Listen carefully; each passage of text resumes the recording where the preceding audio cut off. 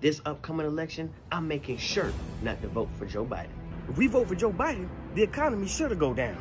We have to watch our pockets now more than ever before. He's gonna raise taxes 39% for those who make over 400K a year. Do you make 400K a year?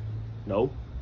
If Joe Biden gets elected, the whole stock market's gonna crash. Name one stock. Huh? Well, I make 80K, my girl makes 75, and my other girl drive Uber. How much is that? Not 400K? Okay, damn. Girl. Could you use it in a sentence? No. All right, I'll do it. My girl said she wanted a Birkin bag, and I told her it was out of stock.